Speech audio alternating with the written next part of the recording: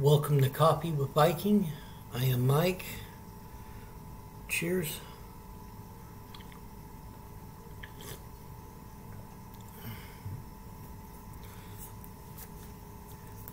And today's devotion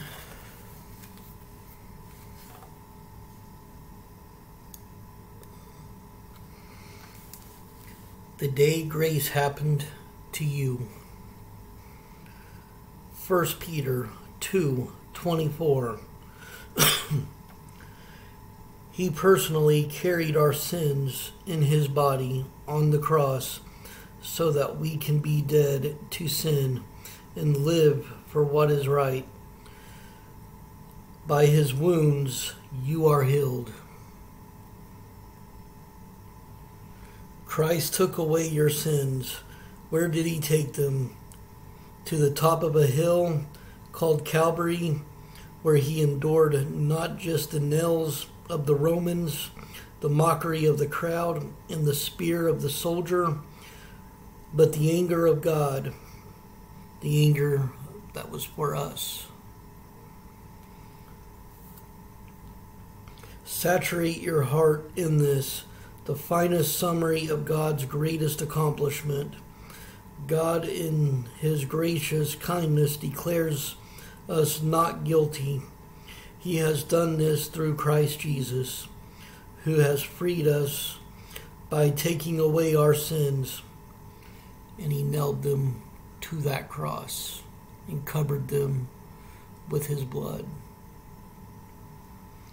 For God sent Jesus to take the punishment for our sins and to satisfy God's anger against us. We are made right with God when we believe that Jesus shed his blood, sacrificing his life for us. God didn't overlook your sins lest he en- endorse them. He didn't punish you lest he destroy you. He instead found a way to punish the sin and preserve the sinner. Jesus took your punishment, and God gave you credit for Jesus' perfection.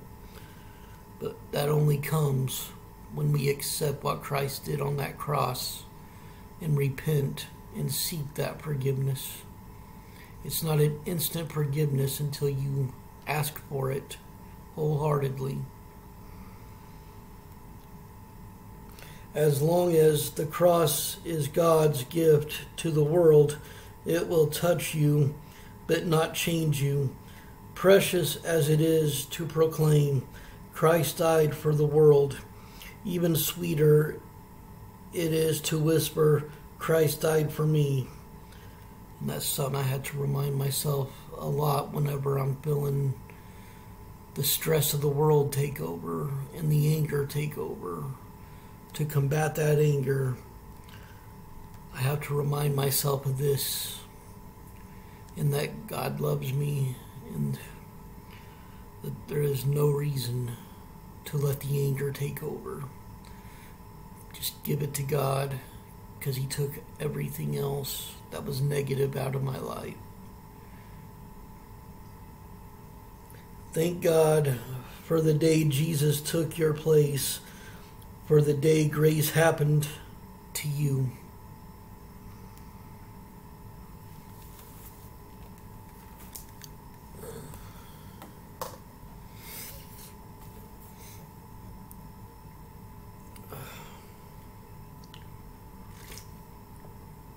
Love you all.